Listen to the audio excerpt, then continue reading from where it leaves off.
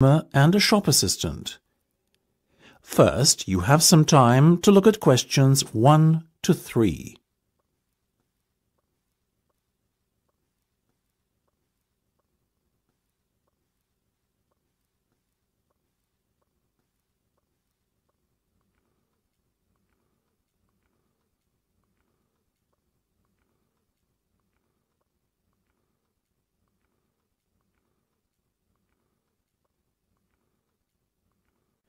You should answer the questions as you listen, because you will not hear the recording a second time. Listen carefully and answer questions 1 to 3. Good morning, Jenny's Suit Rental. Jenny speaking. How may I be of service? Hi there. My name is Max Jones. That's J O N E S. And I'm looking to rent a suit out for a special occasion. Certainly, Max.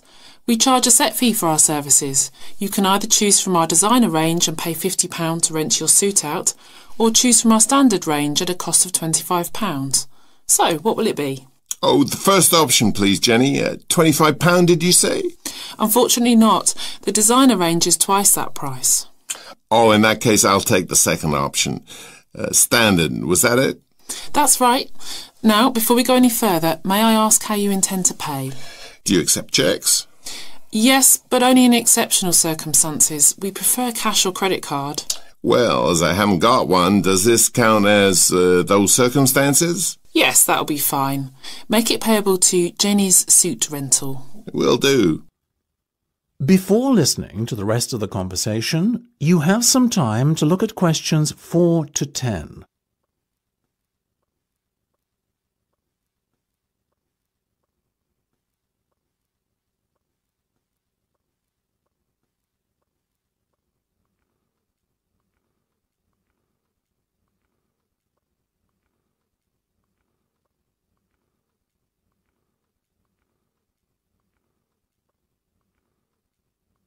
Now listen and answer questions 4 to 10. Now, Max, can I take your measurements, please, and a few details about what sort of suit you have in mind? Certainly. Let's start with the trousers then, shall we? What is your waist size and leg length? I used to be 32 waist, you know, but these days it's more like 36. Too many cream pies. I've been there. And about the leg, 34? I wish. I'm afraid I'm somewhat lacking in the height department. Not even a 32. 30, I'm afraid. Never mind. As for the colour, could you do a dark grey suit? In fact, we have a very smart one of those in just your size. You're in luck. Now, what about shoes? Same colour? No, I think I prefer something darker. OK, let's go with traditional black then, shall we? What about size? Uh, I'm a size 45. Hmm. By my calculations, that's uh, 10 in our sizes. And style? What have you got? We do suede, nubuck, and traditional leather. Definitely the last one. Very well.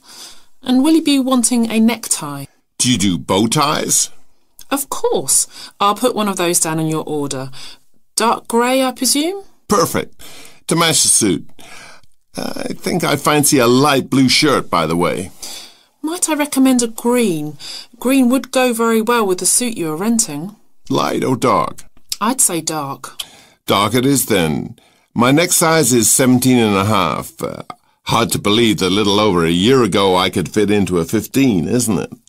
Those cream pies again, right? You got it. Now, what about your suit jacket? Same colour as the trousers, obviously, but what size? Medium should be fine. You sure? Yeah.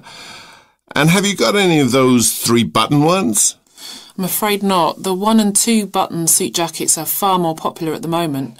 In fact, the one button is all the rage. Let's have that one then. No problem. Now. That is the end of part one. You now have half a minute to check your answers.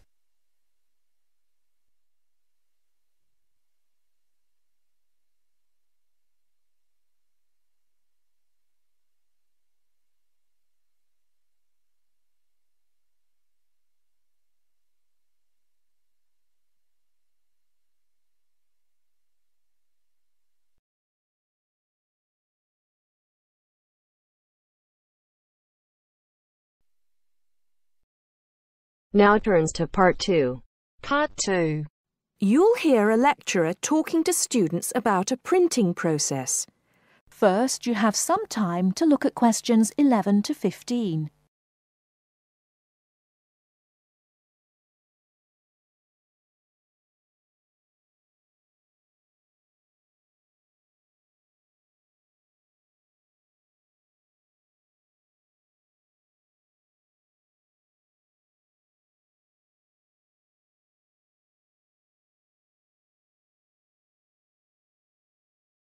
Now, listen carefully and answer questions 11 to 15. As I've made clear in earlier lectures, many different solutions have been proposed to the basic technological problem of getting meaningful marks onto paper. In other words, several different forms of printing have developed over the years, many of which are still in use today for different purposes. This week, I'd like to discuss the rotogravure process. This is one of the most widely used printing processes, and after describing how the process works, I'll be describing some of its industrial uses and the advantages and disadvantages of this form of printing. As the name implies, rotogravure is a form of printing in which large cylindrical pieces of metal rotate, while the paper to be printed passes between them. The paper is held in place against the printing surface by the impression roller. The weight of this roller is one of the factors that affect how much ink is actually transferred to the paper. Remember that this roller does not directly transfer ink onto the paper. The side in contact with the impression roller remains blank, and it's the other side of the paper which is actually the printed side. The impression roller presses the paper against the ink-bearing roller, generally known as the gravure cylinder. This roller is etched or engraved using either a laser or a diamond-tipped etching machine. This creates a large number of tiny holes in the surface of the roller which hold the ink. The depth and size of these holes determines how much ink is picked up from the ink fountain, which the whole printing assembly rests in. How much ink is picked up in turn determines the density of the image produced. As it rotates, the lower roller picks up more ink on its surface than is required, and this needs to be removed before contact with the paper. A flat edge, called the doctor blade, scrapes against the surface and removes all ink which is not in one of the holes on the surface of the lower roller. This should lead to a clean image. Before you hear the rest of the talk, you have some time to look at questions 16 to 20.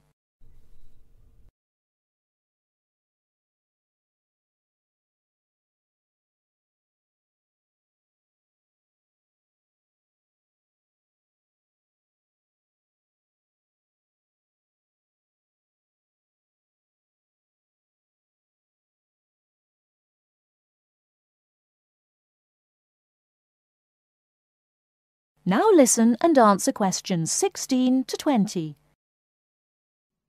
Now that we understand a little of the mechanics of rotogravure printing, I'd like to look at it in the wider context of the printing industry and discuss the main uses.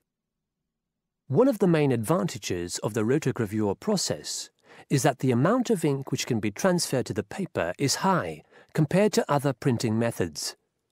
This means that a broad density range can be produced.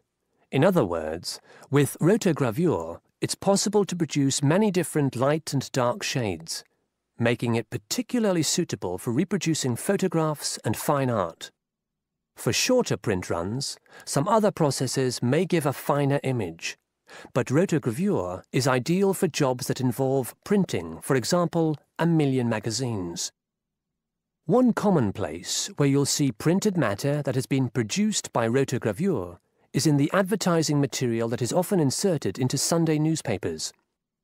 Of course, it's not just paper that can be printed by rotogravure. It's a very flexible process, since the rollers used can be made to any size required. Whether it's consumer packaging or large rolls of floor covering that need to be printed, rotogravure is a relatively cheap, quick method that is used in a variety of industries. This isn't to say that rotogravure is without its disadvantages. Probably the main drawback is the fact that, with large areas of colour, the dots are visible, even without using any kind of magnifying aid. Now, does anyone have any questions about the rotogravure process? That is the end of part two. You now have half a minute to check your answers.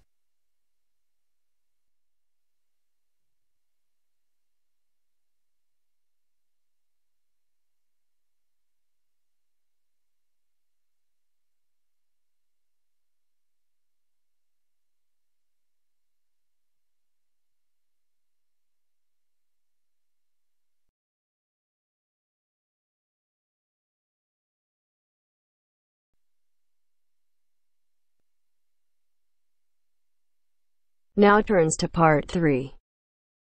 Part 3 Richard Murray, a zoologist and popular TV personality, has been giving a talk on endangered species of wildlife to members of the Young Conservationists Association in a small town in the south of England. Listen to the extract from the discussion he had with two of the young people after his talk. First, you have some time to look at questions 21 to 25.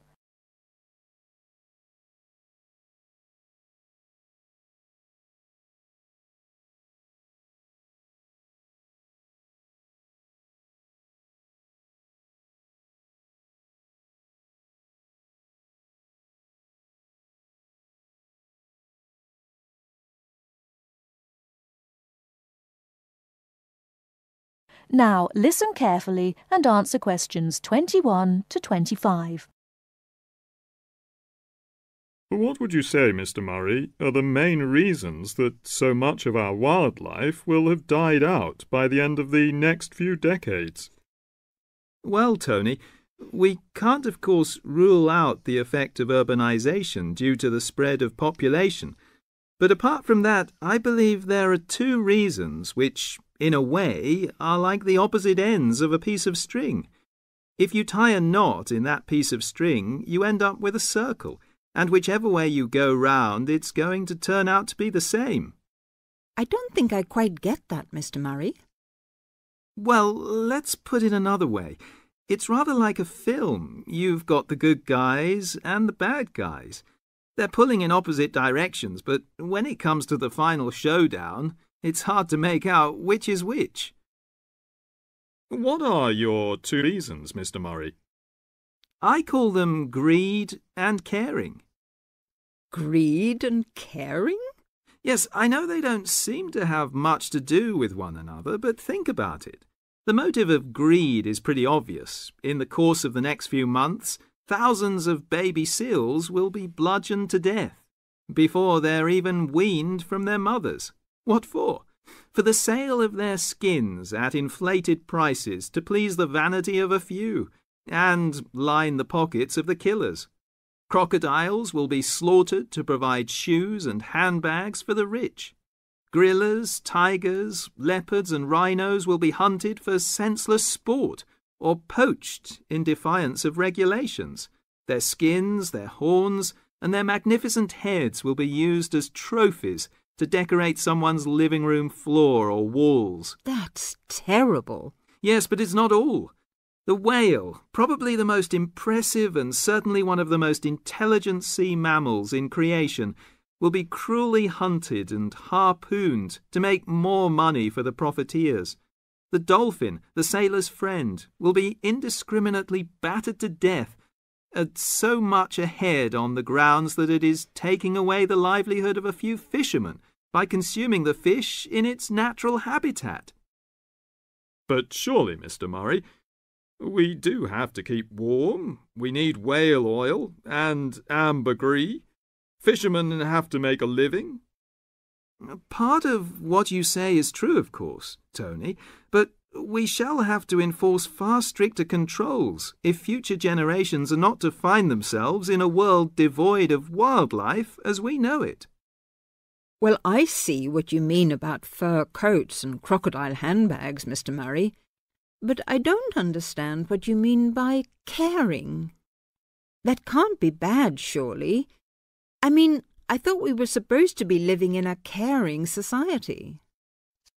Well, so we do, in a way. The trouble is, there are so many well intentioned people who start out with the best possible motives of trying to protect or immunize us from this, that, or the other in the most effective way at the quickest possible rate. But in their enthusiasm, they lose sight of the long term consequences. It's only very gradually that the danger to other forms of life, including humans, comes out. Not to say leaks out and by that time it'll probably be too late to do much about it. Take insecticides, for instance. But insect... Before you hear the rest of the talk, you have some time to look at questions 26 to 30.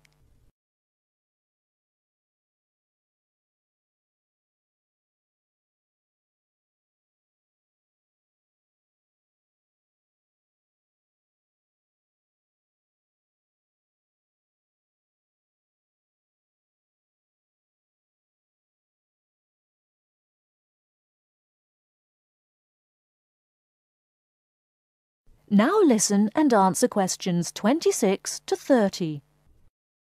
But insecticides protect crops from pests.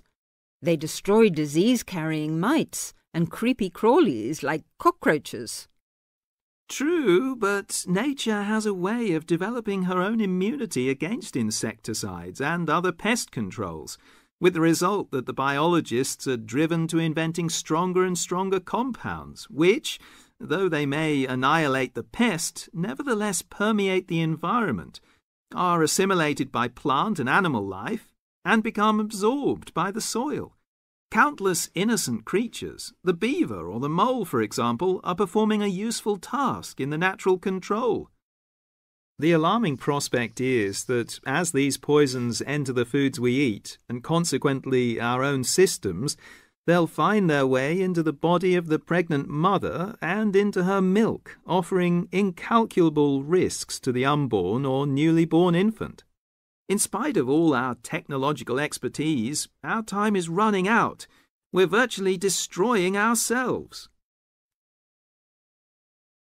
That is the end of part three. You now have half a minute to check your answers.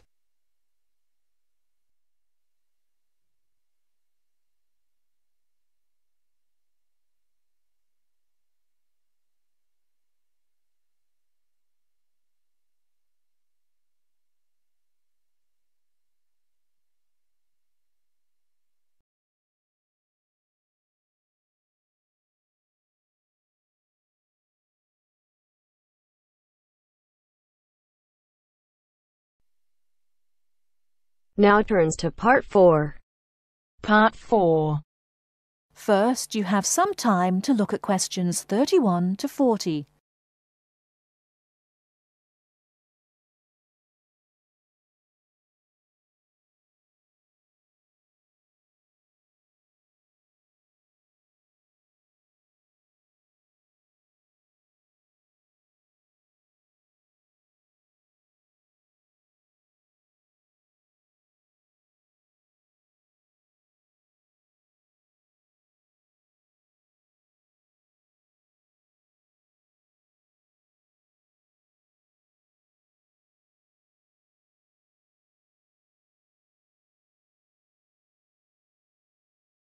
Now listen carefully and answer questions 31 to 40. The word thesaurus comes from Greek and means treasure house. So, to tell us more about Roget's thesaurus is linguist Dr. Cindy Channer. Now then, Cindy, we know Roget classified the English language. Well, the 150th edition has just come out. It sold 32 million copies. Yes, that's right. 32 million. What is it? Roget's Thesaurus. Now, Roget's Thesaurus is a type of dictionary in which words with similar meanings are grouped together. The word thesaurus comes from Greek and means treasure house. So, to tell us more about Roget's Thesaurus is linguist Dr. Cindy Channer. Now then, Cindy, We know Roget classified the English language, but what do we know about the man himself?